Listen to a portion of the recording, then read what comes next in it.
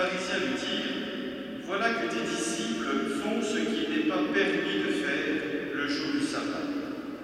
Mais il leur dit, N'avez-vous pas lu ce que David, ce que fit David quand il eut faim, lui et ceux qui l'accompagnaient?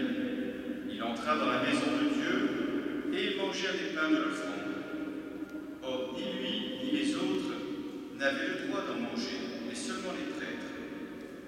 Ou bien encore, n'avez-vous pas lu dans la loi que le jour du sabbat, les prêtres dans le temple manquent au repos du sabbat sans commettre de faute? Or, je vous le dis, il y a ici plus grand que le temple. Si vous aviez compris ce que signifie Je veux la miséricorde, non le sacrifice, vous n'auriez pas condamné ceux qui n'ont pas commis de faute. En effet, le Fils de l'homme est maître du sabbat. Alors, pourquoi ce passage Pourquoi pas Enfin bon, c'est parti sur une parabole de Jésus, mais là, c'est même pas un c'est un épisode apparemment anodin de la vie de Jésus avec ses disciples. Et c'est un épisode très intéressant, il y a un aspect très bucolique, hein, c'est le temps des, des moissons d'ailleurs, euh, puisqu'il y a des épines, des épines hein, donc c'est le temps de la récolte qui approche. Il y a Jésus et ses disciples qui marchent, ils marchent, ils marchent beaucoup dans la Palestine, hein, et ils sont aussi les autres pharisiens qui ne doivent pas être très loin, pour peut-être les choper quand ils font un mauvais pas, ou quand Jésus va dire quelque chose qui ne va pas leur plaire, qui va leur permettre de taper sur Jésus, si je peux dire. Il y a aussi quelque chose de très intéressant, je trouve aussi, c'est la fin, la fin des disciples. Ils ont faim, les disciples sont des êtres humains, et ils ont faim de temps en temps. L'évangile ne passe pas dessus, comme si un disciple, par exemple, n'avait pas faim de temps en temps. Il y a donc le geste de manger qu'on imagine en foutant les épines. Et puis il y a le reproche perfide des pharisiens et la réponse de Jésus, passionnante avec la référence culturelle, la relation à la loi du sabbat, le mystère aussi de sa propre personne qui va profiter de révéler.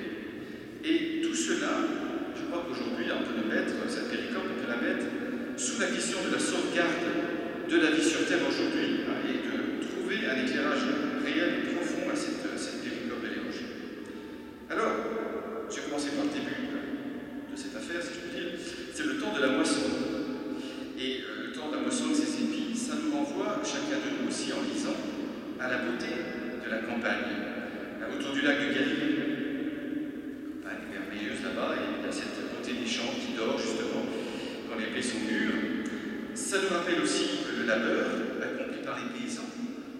Ça nous rappelle cette phrase de Genèse chapitre 3 Le sol ne produira que des ronces et des épines, et tu te nourriras à la sueur de ton front. Exactement ça. Et puis c'est aussi cette histoire de, champ de blé dans cette belle campagne. Eh bien, cette alliance aussi qui, à l'époque, encore était belle entre l'homme et la nature, l'être humain et la nature. À l'époque, il n'y avait pas de pesticides, que je sache. Pas trouvé. Hein. Les blés étaient mêlés de fleurs, puis on appelait aussi parfois les mauvaises herbes, et on allait les trier avant d'engranger le froment dans, les greniers. La moisson, c'est aussi la promesse de la vie. C'est la, promesse d'une sécurité alimentaire aussi.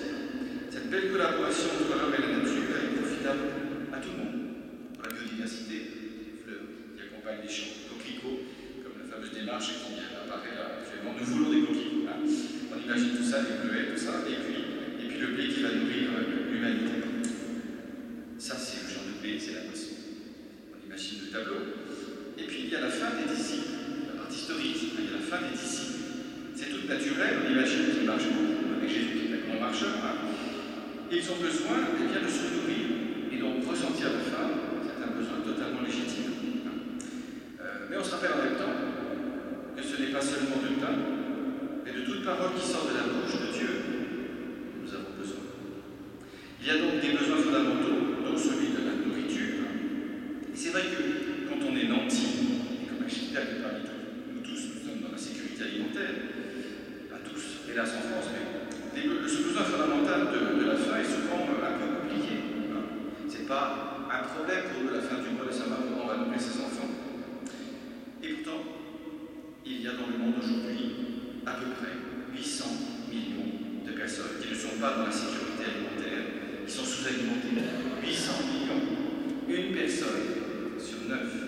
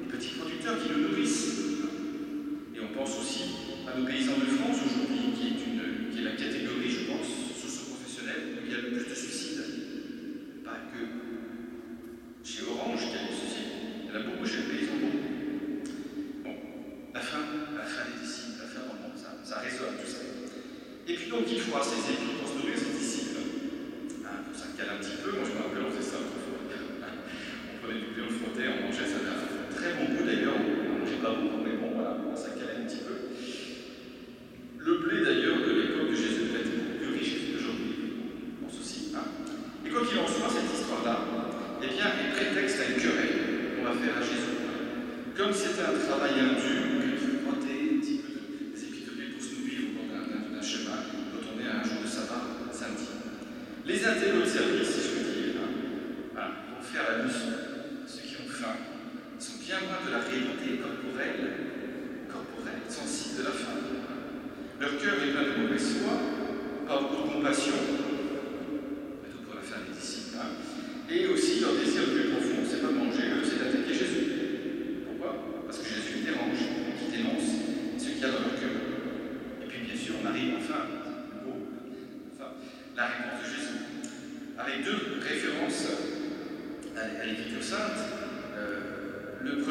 Samuel, chapitre 21, on voit David qui va avec ses soldats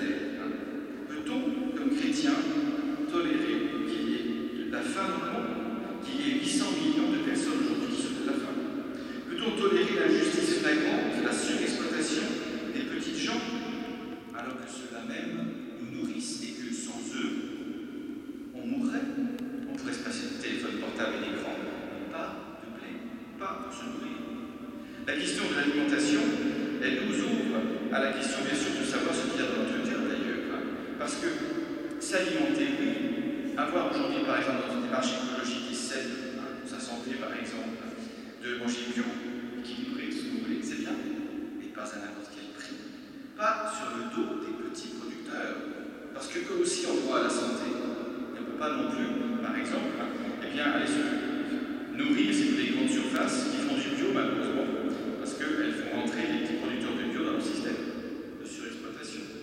Bon, c'est pas triste tout ça. Donc, si on veut manger bio, vérifions que les produits, par exemple, c'est notre responsabilité, eh bien, ils sont issus d'un commerce vraiment équitable avec les petits producteurs. Pensons aussi à cela. C'est pas une question de goût, mais une question de justice. La solidarité entre tous, et puis notre assiette aussi, et notre santé. Voilà, il y a quelque chose qui doit nous interroger profondément pour que l'écologie soit pas un prétexte supplémentaire à notre indifférence du Nord par rapport au Sud, pour faire un peu, bien sûr. La question de l'alimentation, donc, euh, touche, touche à la question de la répartition des biens sur Terre aussi. Hein. La malbouffe, c'est pas sur l'alimentation, sous l'excès d'alimentation, mais mauvaise. Hein. La malbouffe, au Créateur qui a fait de bonnes choses pour ses enfants. Mais c'est aussi un scandale, parce que cette malbouffe, aussi globalement, elle a touché les petits, les gens moins cultivés, les gens moins aisés. On ne peut pas faire de l'écologie sans penser aussi à cela. Et puis de façon plus large, pour revenir à l'amour, bien sûr, la question de l'alimentation, c'est une question de la circulation de la vie sur Terre. C'est une alliance très belle entre la Terre